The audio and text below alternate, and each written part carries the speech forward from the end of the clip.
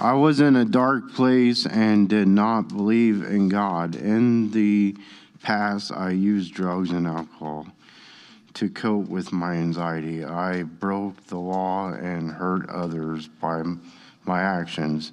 My sister encouraged me to go to church and try it.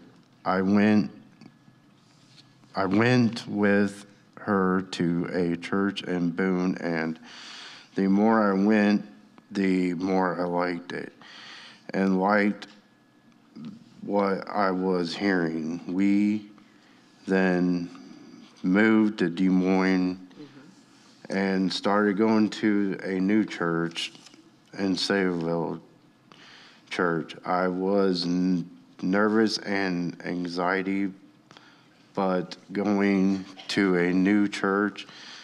But after the first time I going, I knew I liked it. The pastor reached out and came over to our house to preach the word of God and pray with us.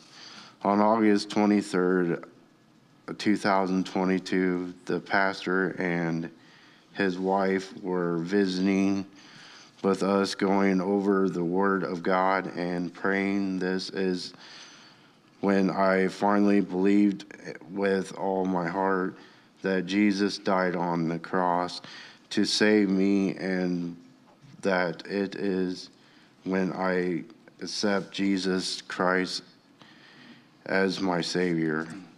My life is better now I beca- because I am in a better place. Jesus touched my heart because when I would sing, I would